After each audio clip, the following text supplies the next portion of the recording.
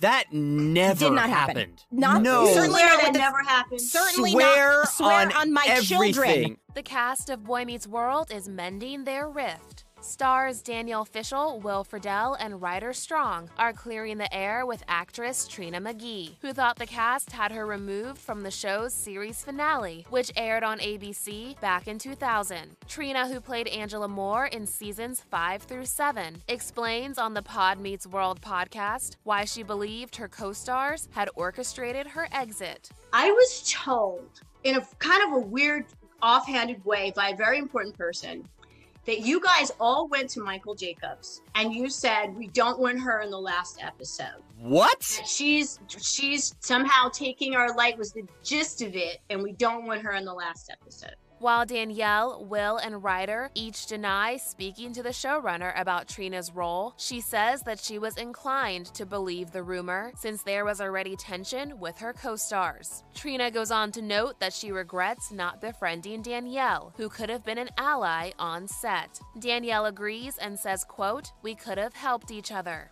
Trina also buries the hatchet with Will, who admits to making a racially insensitive joke at the time of filming. Will says that he didn't realize how offensive his remarks were until Trina spoke to him after the fact. That moment was the moment where I was like, you can't just say stuff.